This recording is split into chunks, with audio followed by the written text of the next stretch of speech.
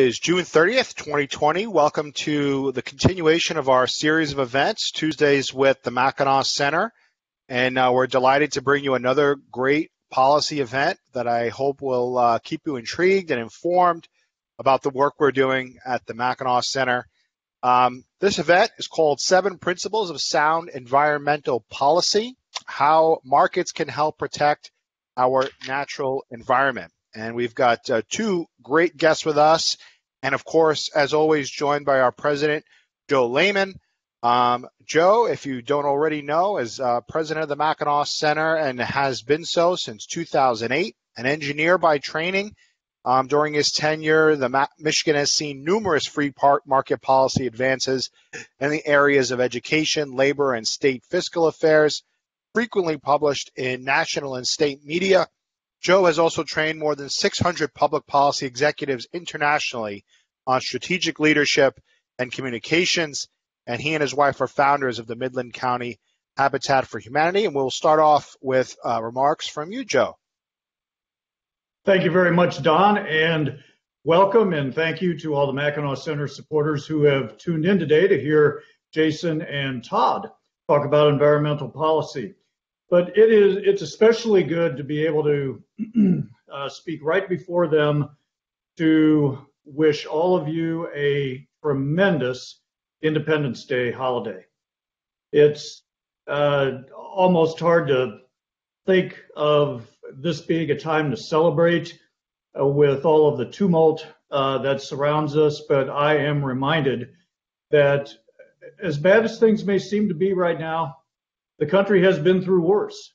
And I'm confident that we will come through these things again, that we'll come through these things stronger. After all, we were the country uh, that was born as a, a tiny upstart wannabe republic taking on the world's lone superpower, and we prevailed. And I'm reminded of uh, the words of our late senior vice president, Joe Overton, who uh, who uh, incidentally passed away tragically 17 years ago this very day. Uh, he uh, wrote a memo to the staff once on uh, the Mackinac Center staff on on how we should uh, observe Independence Day. He wrote, "All staff are encouraged to celebrate Independence Day with passion and verve, remembering it as the signatory day of a document embodying the most sublime of political ideals, an apogee in mankind's quest for liberty of thought and action, the restoration of which is the vision of our organization. And I still get chills every time I remind myself of those words uh, that Joe penned. And it gives us strength to actually carry through in, in tough times. And we've been uh, working uh, uh, very diligently in this strange environment. Uh, I have a, a, big update for you today uh, from the United States Supreme Court. If you haven't heard the good news yet, the court has ruled in the case, uh, has released its ruling in the case of Espinoza versus Montana Department of Revenue, and it involved the school choice program. And we're still digesting all of the opinion. It was a five to four decision. And essentially, the Supreme Court has found today uh, that uh, states, even the state's constitutional provisions, cannot restrict school choice programs from benefiting uh, religious schools. The majority of private schools in this country are religious schools. So this is very big. There were 37 states that had very severe restrictions in their constitutions on how school choice programs uh, could be used at private religious schools. And by our quick reading so far, it looks like uh, things may improve drastically in 32 of those states. Uh, Michigan, however, is is in the group that uh, uh, it isn't clear yet on how exactly Michigan will directly uh, benefit uh, the parents and kids who just want the safest and best schools, uh, whether they be private or public or or whatever. Uh, but we will continue uh, working to make sure that, that the victory that now blankets most of the country applies to Michigan as much as it can. And I have some more good news about uh, the Mackinac Center's efforts to um, uh, wisely reopen Michigan society. As you know, we've seen that uh, severe lockdowns uh, can slow the spread of the virus, and it is a dangerous virus. But there's a downside too. Uh, e- economists uh, look at trade-offs. almost never do economists get to look at absolute solutions to a problem. So there have been costs associated with the trade-offs too. And, in one of our lawsuits, which we had to bring against Governor Whitmer, was uh, one of her against one of her executive orders, which essentially prevented all kinds of medical care from occurring in this state in order to um, lock down as much of the state as possible, keeping uh, sufficient beds and things open for COVID patients. Well, those beds never filled up, and, and the lockdowns uh, on other kinds of a little bit less urgent care uh, became, well, they had created some urgent situations for some people. One of uh, uh, one of our clients even developed gangrene because he was unable to get the care that he needed. Uh, thankfully, shortly after we filed our suit, the governor withdrew her executive order. However, uh, we are continuing our case, and the Michigan Supreme Court has agreed to take up uh, our case and consider it. And so uh, that's an exciting development, which can mean that we, we may discover that there are some limits that, that aren't clear yet in how much power a, a governor has to actually lock down society. Our work also continues to help government employees around the country who are members of unions, uh, oftentimes without even realizing they ever had a choice, uh, we're helping them take advantage of the Janus decision at the U.S. Supreme Court two years ago, which now uh, gives them more freedom than ever to opt out of a union they may not want to belong with. And the states where we're educating the most people are having the largest changes in government union membership. Uh, even after one year, membership uh, among big public sector unions in California was down 28 percent it was down 20% in Pennsylvania, 32% in Maryland, 16% in New Jersey. Attorneys general in Texas, Alaska, and Indiana have, have said in, in their official capacity that employees uh, who work for government in those states uh, need to give affirmative consent to being in a union. Otherwise, they're considered uh, not part of a union. So these these are big big victories for workers who simply want a choice and don't want to be coerced or nudged into one choice or another. So that's a quick update on uh, what has been happening at the Mackinac Center. And I'm just so grateful that we have your support uh, and your attendance uh, here today. And I know that uh, you will really benefit from Jason's and Todd's remarks. So with that, I thank you again and turn it back to Don. Thank you so much for that great update, Joe. A lot of good news to share, and um, it's refreshing to hear um, this point of the year in 2020 after what we've been through. So thank you so much for those great updates. So let's turn to our program, our agenda, uh, seven principles of sound environmental policy. And uh, before I get into the, the questions that I have for our speakers, I want to introduce them. Um, Jason Hayes, aforementioned, Director of Environmental Policy for the Mackinac Center for Public Policy, has spent almost three decades studying and working in environmental and energy policy. He worked as a backcountry ranger in British Columbia uh, in their provincial parks, as a forester in British Columbia's boreal forest, and researched national parks management and grizzly bear biology with the Fraser Institute in Calgary, Alberta. He spent over a decade researching and communicating energy and environmental policy with the Canadian and American energy industries. And then uh, Todd Myers, a beekeeper by trade and the director of the Center for the Environment at the Washington Policy Center. He's one of the nation's leading experts on free market environmental policy. He formerly served on the executive team at the Washington State Department of Natural Resources is currently a member of the Puget Sound Salmon Recovery Council. and also a, a great baseball fan like myself. I know I'm sure we're all excited that baseball is going to be returning soon. But into let's get to the heart of the matter and why our attendees have joined us. So I'm going to start this question um, with you, Todd. Um, what is the most interesting example of an innovative technology that you have encountered that helps drive environmental management and efficiency ahead of regulators? So, thank you for having me on. I appreciate the opportunity. Um, as you mentioned, I've worked um, in environmental policy for about 20 years and worked at a state agency. So I've seen the things that state agencies can do and the reason that um, that they're important. But there are a lot of limits to what they can do, and often the incentives of state agencies don't align with the environment. Politicians, primarily what they're interested in is what looks good, what gets them elected. They they certainly care about the environment. I don't uh, I don't think that they're completely cynical, but it's hard for people who aren't scientists or aren't economists to make good decisions out what the best policy is. What they do know is what makes them look good. And so the reason that we have to focus on technologies and personal approaches is, is that you need to align the incentives of the individual with the environment. And technology really allows you to do that. And I'll just give you a, an amazing example. So right now, people are concerned about plastic in the ocean. For cities um, and states, Washington State, we just passed a ban on plastic grocery bags. CERN um, uh, is supposed to be about ocean plastic. Of course, plastic bags, especially from the United States, don't end up in the ocean very much.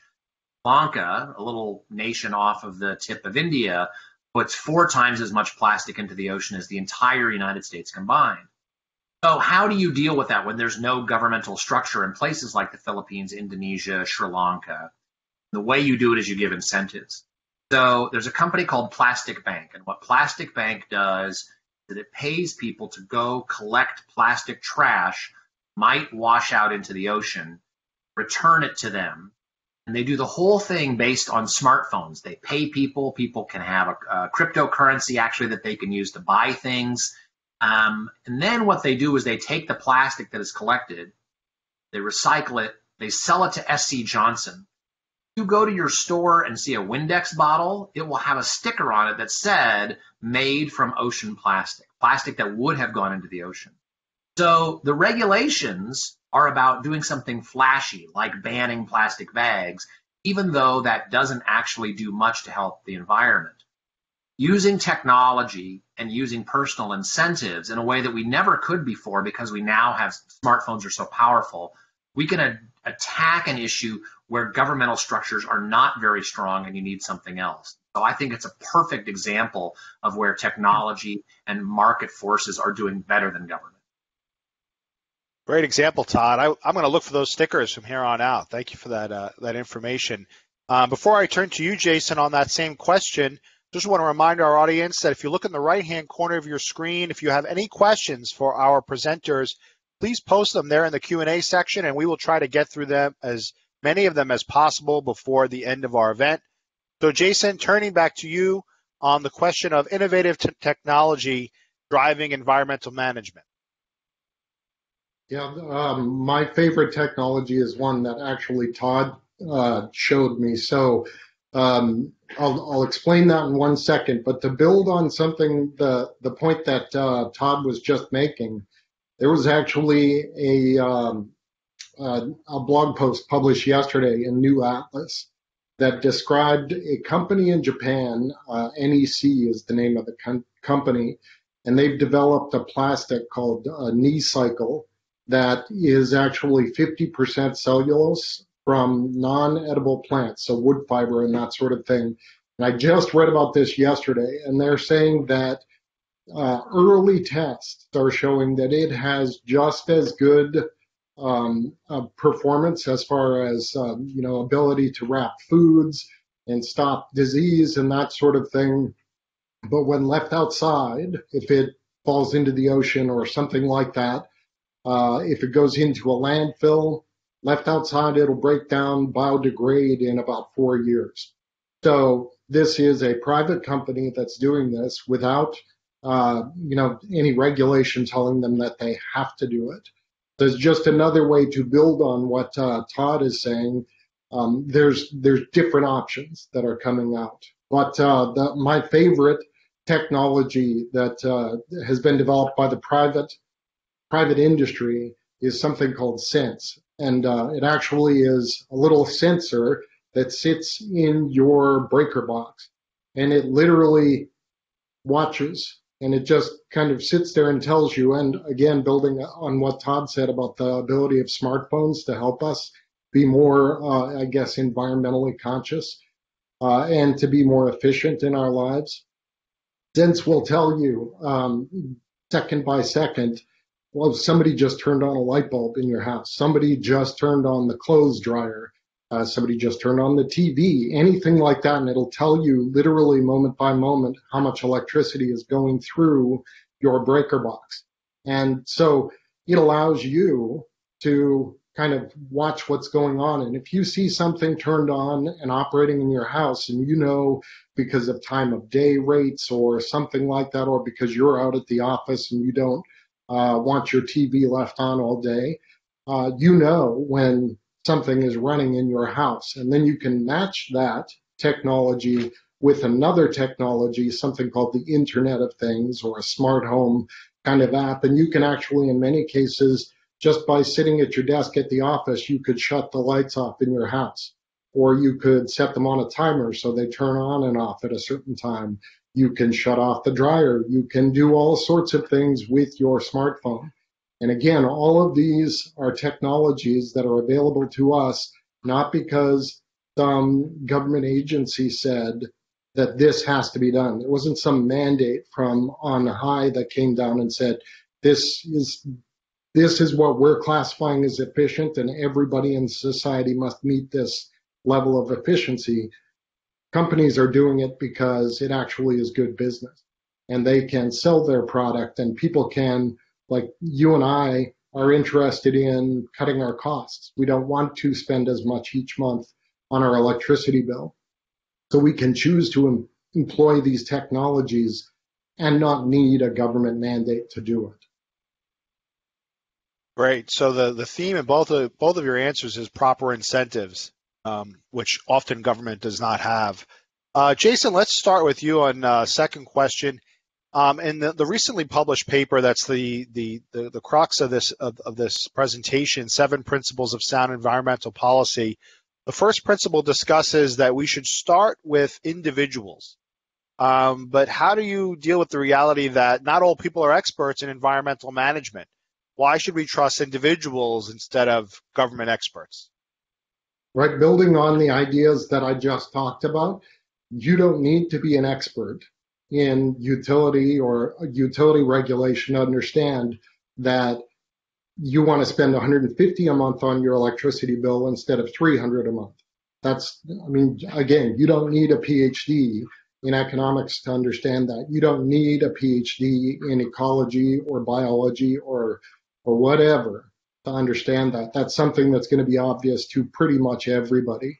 But individuals are the ones that actually live on the ground in the areas that are being impacted by a lot of the policies that we're putting out or that government is uh, imposing or mandating. Those those policies hit everybody as they're you know they look out their front window. That's what's happening. These people are breathing the air in in their yards. They're drinking the water that's coming out of their taps. So there's one example, another example of uh, a technology that was developed by a mix of individuals, uh, organizations, in this case, the Nature Conservancy, uh, and it worked for uh, small businesses, farmers in California. And the, the program is called Bird Returns. And it, it watches when, uh, actually, again, using smartphones, uh, TNC developed a smartphone app and it allows people to come and and watch when they're they're they're looking for birds that are migrating south uh, through California. And when they see a certain bird, they punch it into their phone and they say, this bird on this day in this location. And that tells the wildlife biologists that are looking at the reports from this uh, smartphone app that these birds are beginning to migrate. And so what TNC did is they took that knowledge and they went to rice farmers in California and they said essentially to the rice farmers, look, we'll pay you to do something that would normally be too expensive for you to do, which is plow up the, the rice straw when after you've harvested your rice. You can plow up the rice straw and essentially compost that rice straw in your fields. And then flood the fields uh, just to you know a depth of a couple inches. But what it does is it allows those birds that are flying south to have habitat. So when they come and they set down, they have a place to stay. They have a, a place where they can forage for food and they can do all of these sorts of things. And so what they found is that TNC was happy because their supporters said, This is the kind of thing we want you to do. So we'll give you money to do this. The farmers were happy because TNC was paying them the costs that were associated with doing this extra work in their fields. So the farmers were still making money living their lives. And then the birds are happy because they are um, they have habitat now. And then as a side spin-off benefit, the farmers and, and TNC actually figured out that doing this to their fields actually was kind of like fertilizing them and made them much more productive. So there was another benefit that came out of it. And again, all of this happened because individuals wanted to do it, not because some um, you know government agency said you need to do this to protect birds or to make your fields uh, more fertile or that sort of thing. So again, it's an individual choice.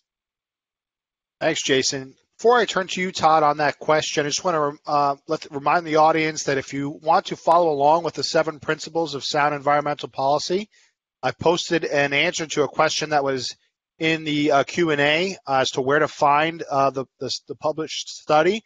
And um, you can just easily find it if you go to mackinac.org backslash events.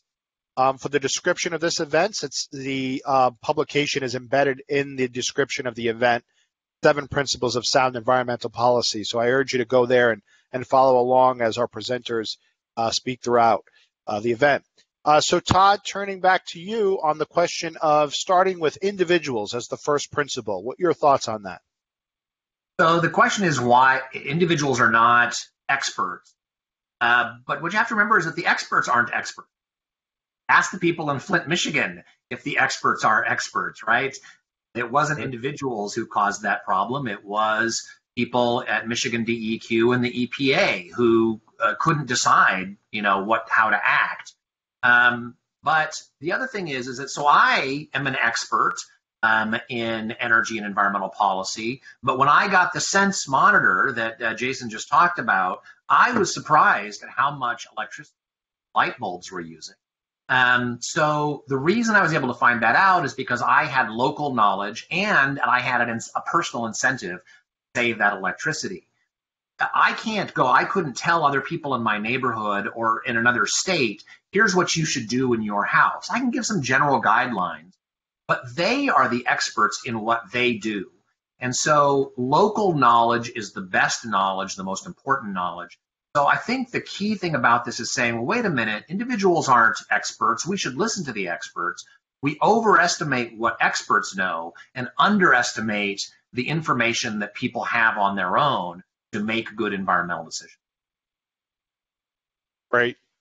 Thank you so much for that, Todd. Todd, I'm to stick, stick with you on this uh, next question. We see many companies and representatives of private industry um, that were, to put it simply, uh, bad actors. Um, our history is obviously replete with uh, folks in private industry and landowners that have damaged the natural environment for their own personal uh, profit. So why should we trust them to manage the environment better than government? So the key thing, that I get this question all the time as if it's an either or. So in 1970, when we passed the Clean Air Act and the Clean Water Act and 1970s when we created the EPA, the problems that we had were big smokestacks and big outfalls into water, precisely because what you're talking about, which is that polluting was free essentially. Um, and so those laws changed that. Our air and water are much cleaner. today as a result of that. That worked. The argument is not that where there is a clear, where there, where there is an easy regulatory solution that is better than creating a market that we shouldn't take it. And in the case of big smokestacks, you should do it. Problem is, is that pollution that we face today is very different than in 1970. So Bill Ruckelshaus, who was the first director of the EPA, actually wrote a piece in the Wall Street Journal about 10 years ago saying that the solutions that we used in the 1970s won't solve the problems that we're facing today. There is no regulation that we can pass that will solve the plastic pollution problem that I discussed earlier because it is an international problem. Some of the governments are weak. In those sorts of circumstances, you have to use a different approach. That, I think, is the contrast. It is not that we replace places where regulation is working with market solutions. It is that you address the problems that we have where there are failures with market solutions, and there are a lot of them. The, the water pollution we say, see today is much more distributed, air pollution, um, the Endangered Species Act is something where you need private landowners to work. You can't just impose regulation. We see that. The vast majority of, of endangered species are not recovering. We have stopped them from going extinct in many cases, but they're not recovering. To get them to recovery, we need those private alternatives. So that's how that works together hand in hand. Frankly, the other issue is is that um, private solutions are often more economically beneficial. They respect people's personal freedom and property rights, and those are good things too. So um, that's the kind of those are the circumstances where I think that you use market approaches rather than just wholesale getting rid of all regulations, which is the accusation that is made, but it is nonsense. Thanks for that, Todd. Uh, Jason, to you on the question of um, the history of private industry or individuals as bad actors um, in terms of taking care of the environment, why we should trust them over uh, government actors. Right. And uh, Todd already gave one good example of an idea why government may not always be the correct answer in the, the case of uh, Flint, the water supply in Flint, because it was government literally a failure of government at the municipal, the city level, the state level, and the federal level that allowed the Flint water crisis to happen. Um, I'm looking at another situation, literally just finished writing a paper on um, management of national forests in the state of Arizona.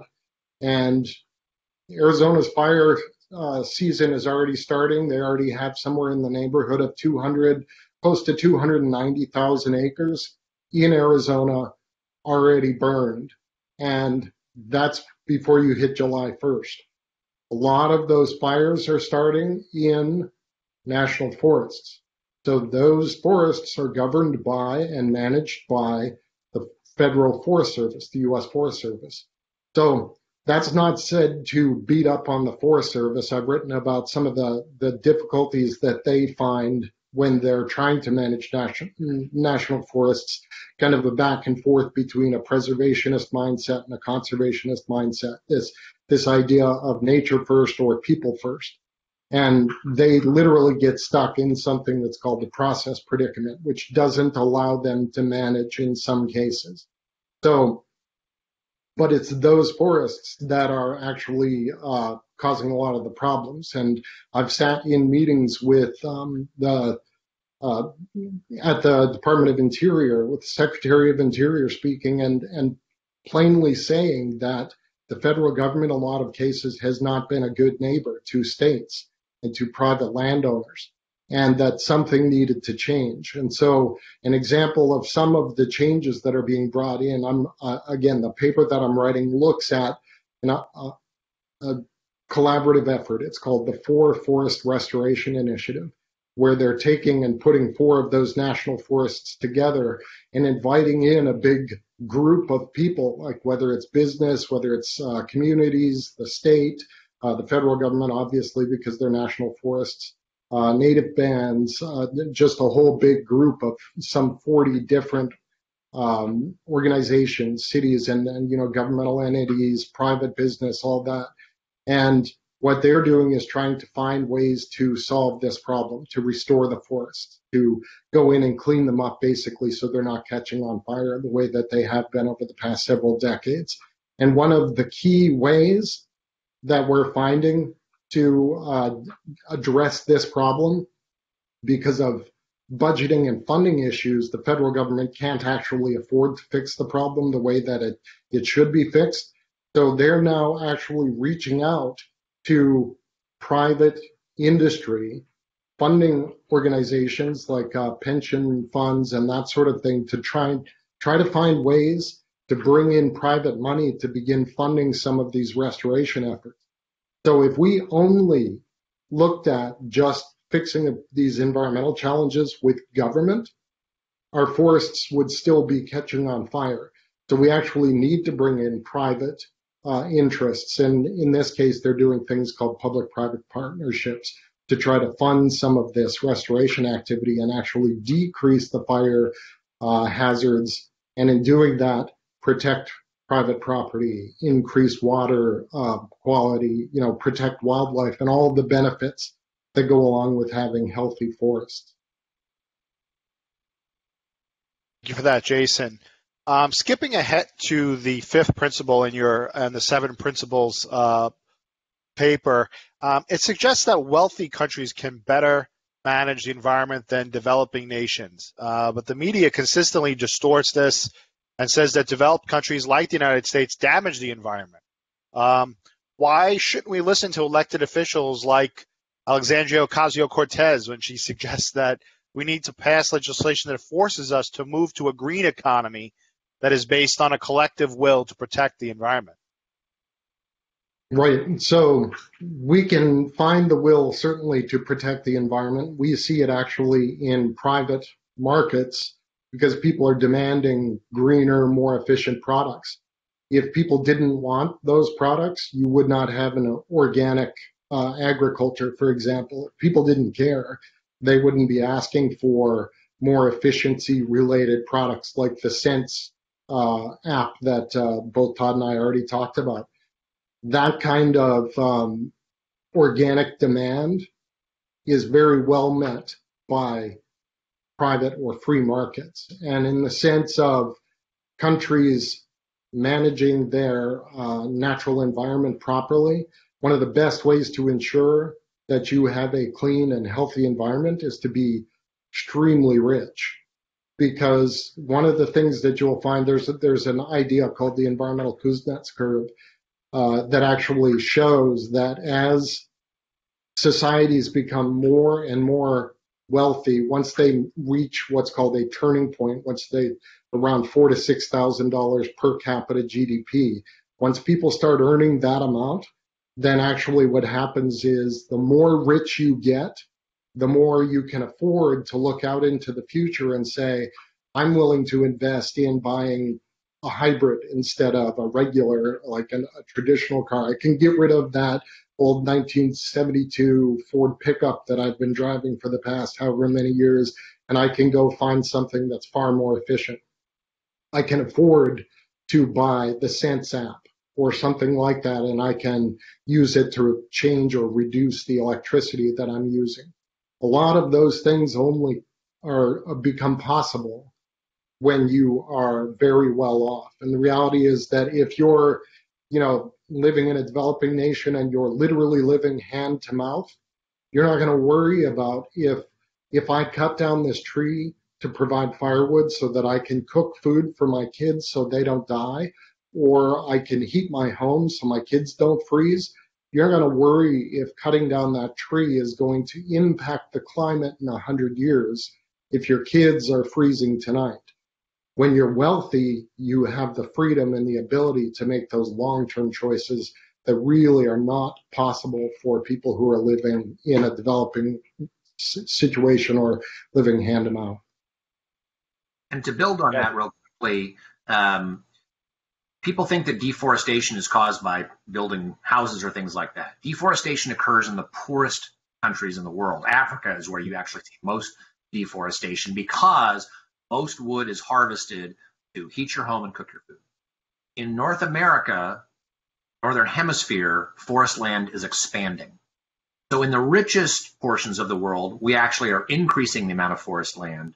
And it is in the poorest countries that you see deforestation. So it, this isn't just sort of a theory. It is you can actually see it on the ground that poverty is directly related to environmental degradation. Correct. Thank you, Todd. Um, thanks for your comments on that. And Todd, I, am going to stick with you here um, as we advance to the the seventh principle.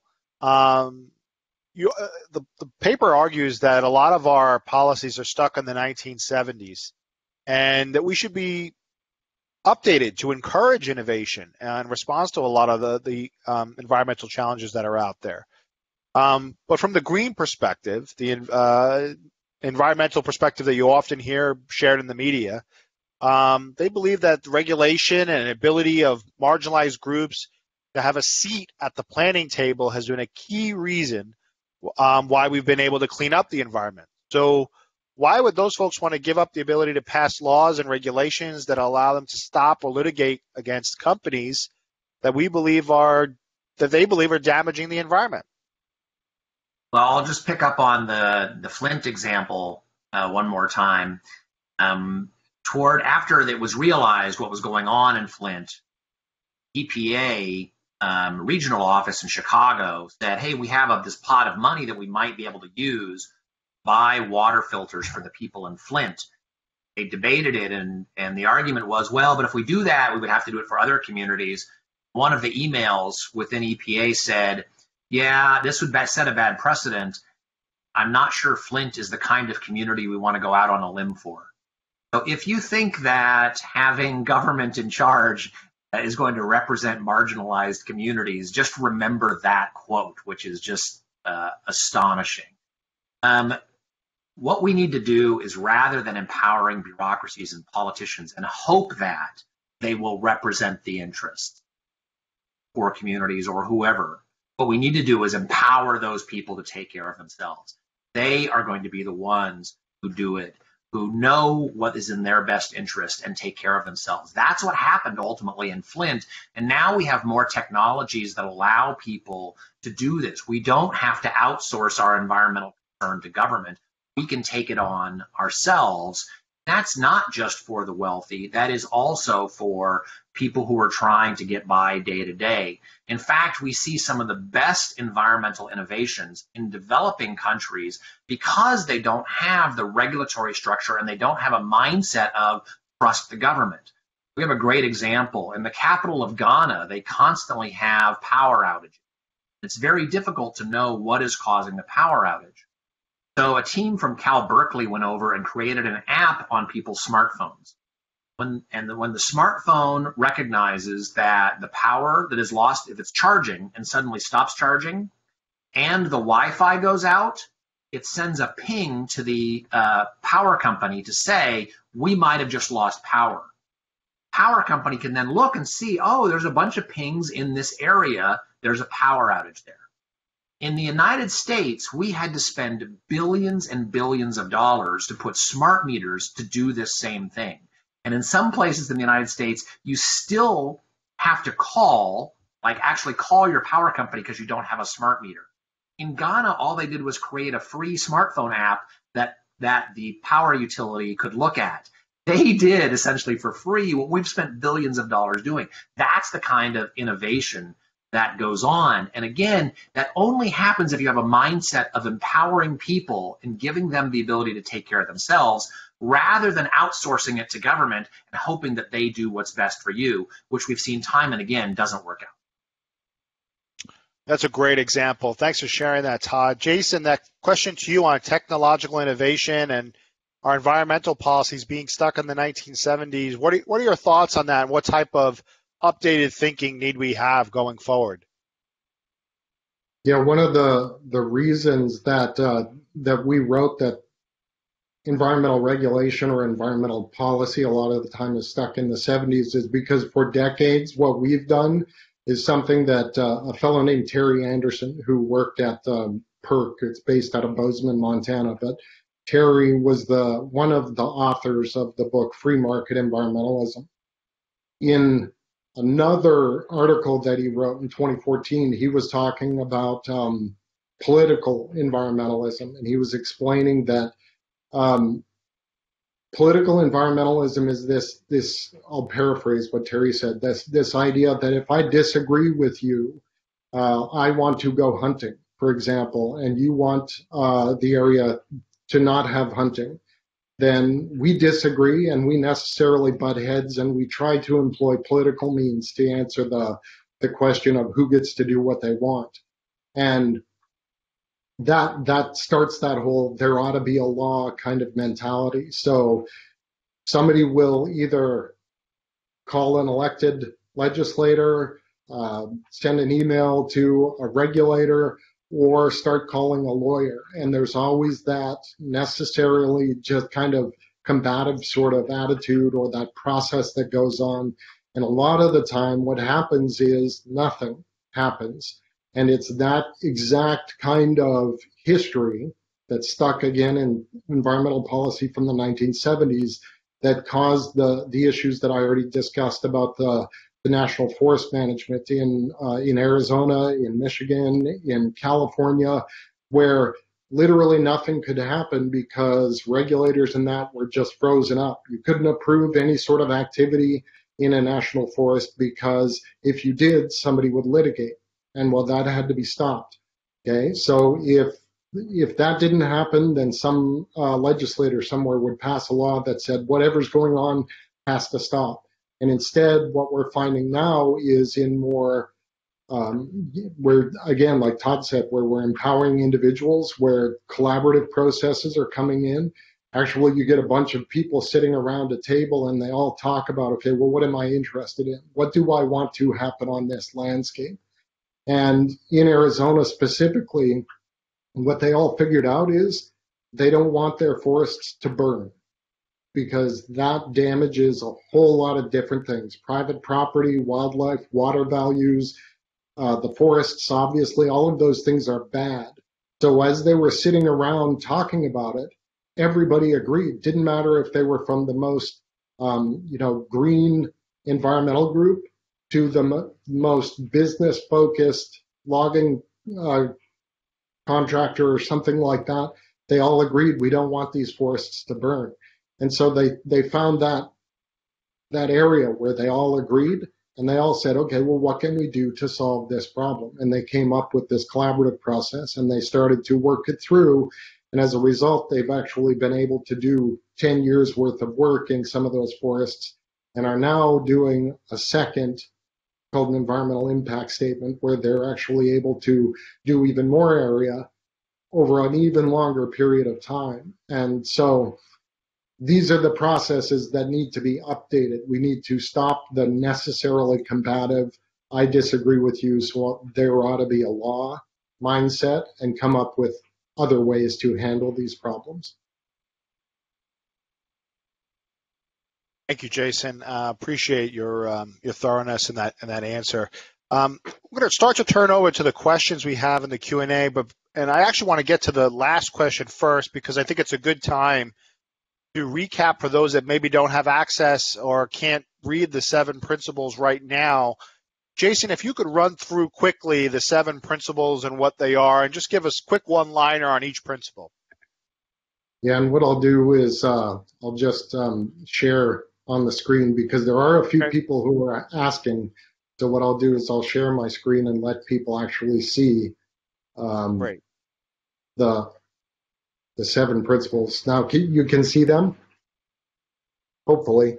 Um, so the first principle is that environmental stewardship starts with individuals, not politicians or bureaucracies, and that one we've already discussed. Property rights are the most basic of human rights, and they're an essential foundation for environmental stewardship. Short version of that is if you own something, you tend to take care of it. The third one, competition and voluntary cooperation fosters innovation and the wise use of nat- natural resources. And on that one, again, the, the example that I use when I'm speaking about these is that sense uh, application, that voluntary uh, action on the part of a company came up with this, not some mandate. mandate. uh, from from uh, from a government agency.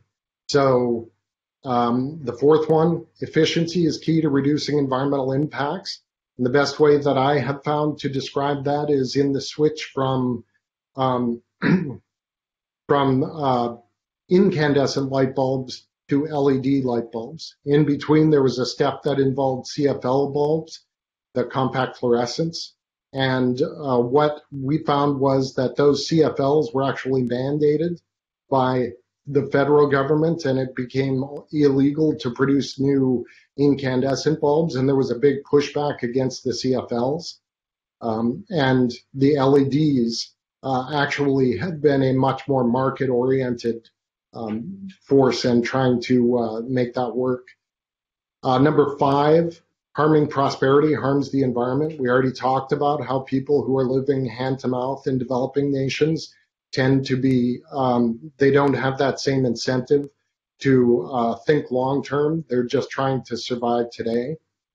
Uh, number six is top down approaches rarely work. Uh, basically, getting an order or a diktat from on high is not going to be as effective as uh, like talking to your neighbor and learning something new, uh, discussing a possibility with um, somebody on uh, social media or something like that. And then the last one is the one that we just discussed that technological innovation is key to improving uh, the environment. And um, so those are the, the seven principles. And again, those are all available um, to be, I apologize. Uh, I just noticed that I was not sharing the screen. Um, but um, there they are again uh, through one, one through seven. Uh, and again, people are able to download this from the Mackinac Center's website. If you go to mackinac.org and then look for environment, click on the environment link, and then you can, it'll take you right to a spot where you can um, where you can download that entire report. And so um, I'll let Todd kick in here as well, so he can can have a say. Uh, and I'll leave that up for a little bit longer since I was not sharing the screen when I was uh, going through those. Thank you, Jason. Thank you. Todd, did you want to comment on those seven principles? Any, any particular principle that you wanted to highlight before we get into the, the questions, the Q&A from the audience? I just want to add that uh, free market environmentalism is not new. People have talked about it for a long time. Elinor Ostrom, who was the first woman to win the Nobel Prize um, in economics, talked about how small collaborative groups of people could solve environmental problems and, and uh, resource problems better than top-down approaches. Problem has been that it's difficult to, to coordinate groups of people in a voluntary way. That sometimes, if, if the problem affects a large enough number of people, what you do is you essentially deputize government to act on behalf of all of those. But with technology, we're now able to expand the number of people who can coordinate um, and how we can make decisions. So the opportunities to engage people directly rather than outsourcing to government is expanding. So um, these principles, I think, you know, 50 years ago when we created the EPA, um, they were useful in a limited way, but now they are useful in a very expansive way. There's lots of opportunities where you can apply these where we simply couldn't um, before. Yesterday was the 13th anniversary of the um, creation of the iPhone you know when it was created people thought this was cool and but but you know didn't know what to do with it. 13 years later all people talk about is you need to get off your dang phone. Uh, so it shows how rapidly technology is improving and can change things.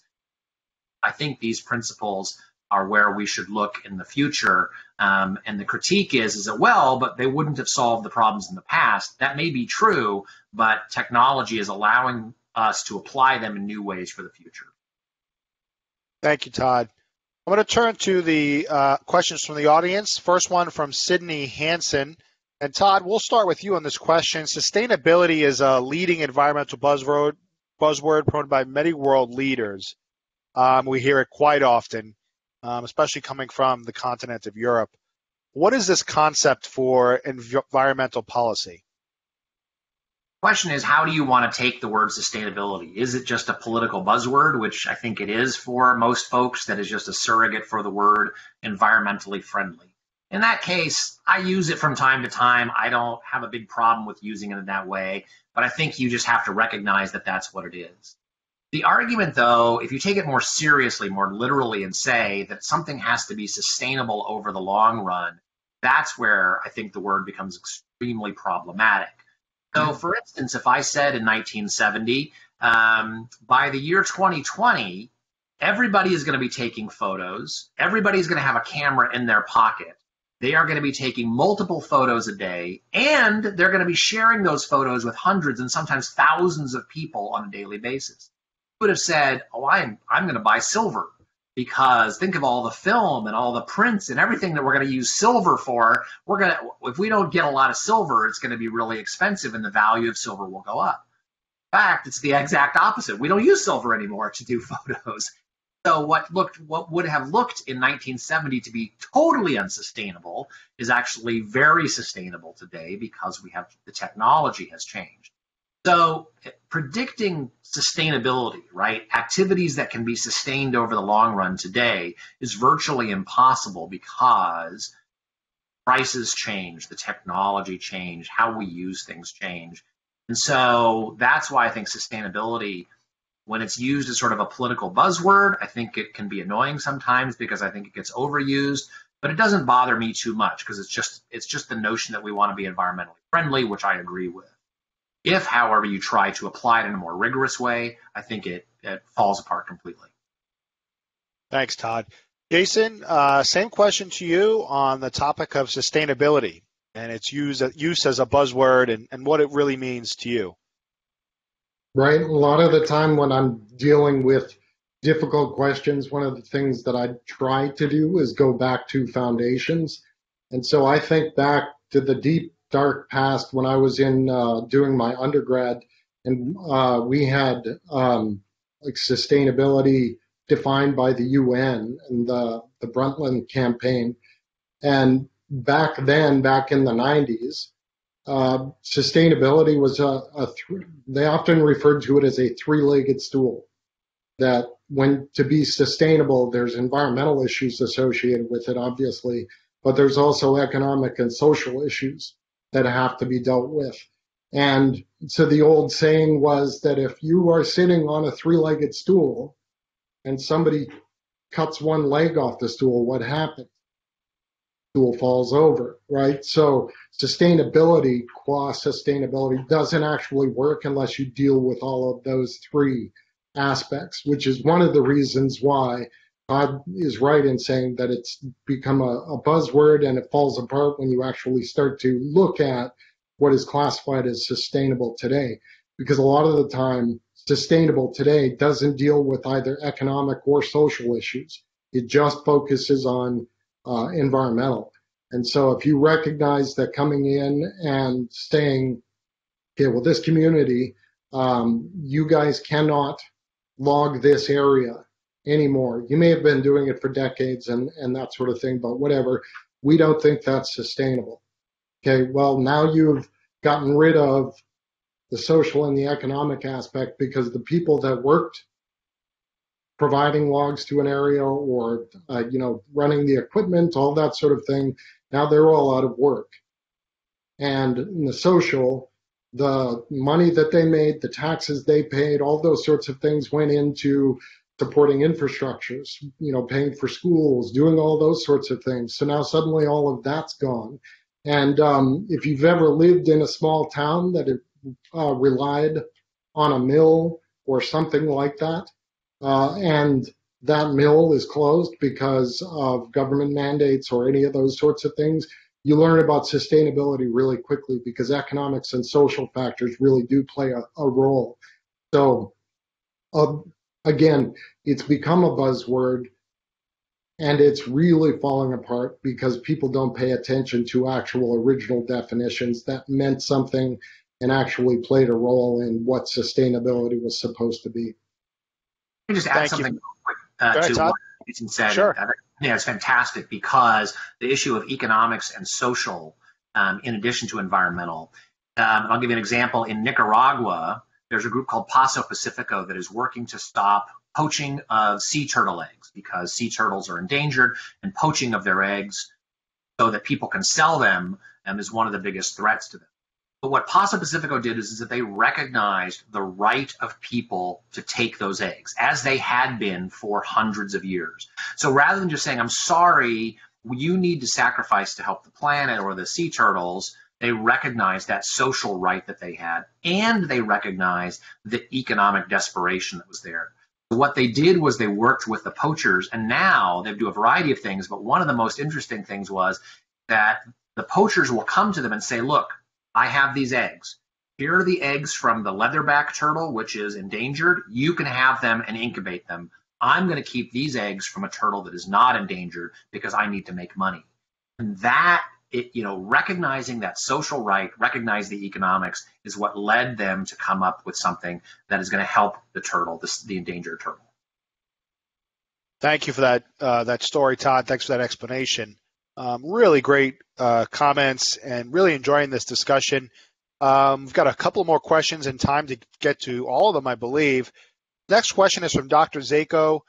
Um, and um, I'll, I'll, just leave this whomever wants to take this question. What is the current status of Pipeline 5?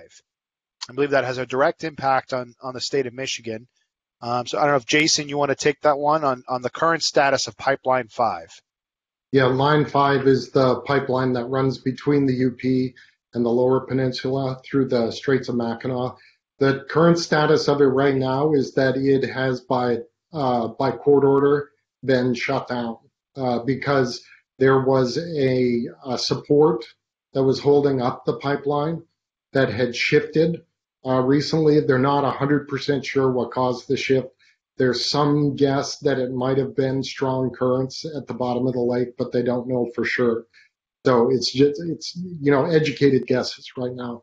But um, because of that, uh, there was a recent circuit court uh, order in Michigan that mandated that uh, Enbridge, the company that owns and operates that pipeline, that they close both legs of, of the pipeline. So it's currently not shipping any uh, oil or natural gas liquids, crude oil or natural gas liquids.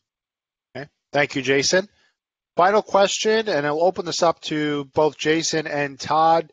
Uh, Todd, let's start with you first. Which principle or principles address the market failures of pollution as a negative externality from various economic activities? And this from Ed Ed Rivet, I believe it is, in our audience. So I think um, seven. I don't have them in front of me, but I think several of them. I think there's no question that, as I said before, if pollution is free, then there's no incentive um, for you to stop doing it. Um, but what we need to do is to empower people to be able to um, negotiate and to deal with those um, types of pollution, to recognize those costs. So Ronald Coase, who won the Nobel Prize in economics, recognized that you could have these um, externalities, but that through mutual negotiation that you could solve them more effectively than having government do it top down. Because government may not come up with the right um, cost assessment of what that pollution costs. They may under um, price it or overprice it.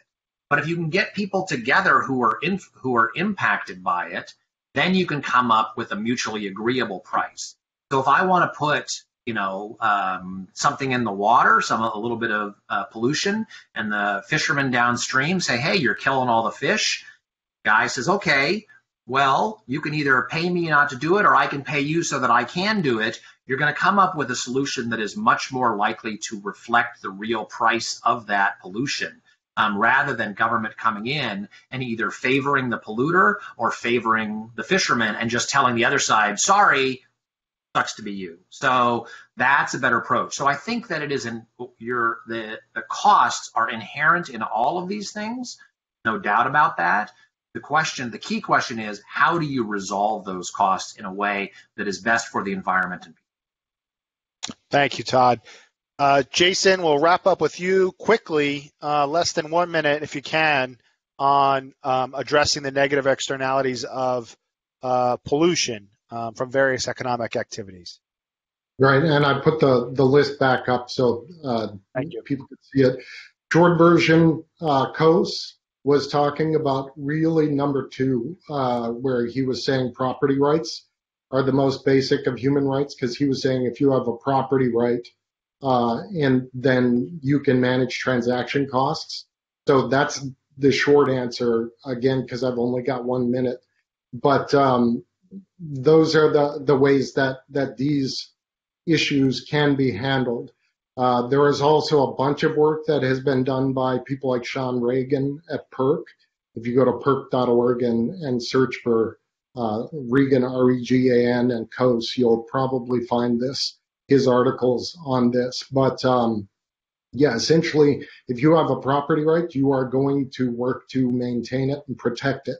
And that's that's what Coase was talking about. That you don't um, you don't you cannot claim a right to infringe on a right. So I can't just say, well, I've got a right to produce pollution, um, and that just is a blanket approval method of allowing me to dump whatever I want into the water or the air because that influences or infringes on other people's rights.